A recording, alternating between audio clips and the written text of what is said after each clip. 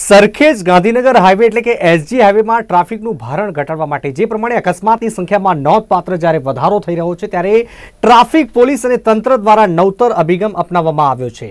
Overbridge ઉપર અકસ્માતની ઘટનાને પગલે અનેકવાર પુલ ઉપરથી નીચે પડી જવાની ઘટનાઓ બનતી હોય છે, જેમાં વાહન ચાલકોને જીવ પણ ગુમાવવાનો વારો આવતો હોય છે.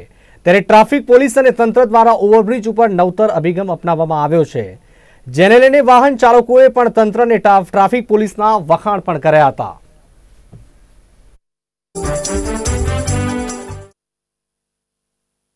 અકસ્માતોની અંદર જે ઘટાડો કરવા માટે તંત્ર અને ટ્રાફિક પોલીસ છે, તેઓએ એક નવતર પ્રયોગ છે તે અપનાવ્યો છે. સીધા જ જોઈ શકાય છે કે સરખેજથી ગાંધીનગરના હાઈવે છે, ત્યાં તમામ જે પુલો આવેલા છે, તેની ઉપર આ નવતર પ્રયોગ છે, તેનો અભિગમ છે તે અપનાવવામાં આવ્યો છે. તંત્ર અને ટ્રાફિક પોલીસ દ્વારા આ નવતર અભિગમ છે તેને અપનાવવામાં આવ્યો છે.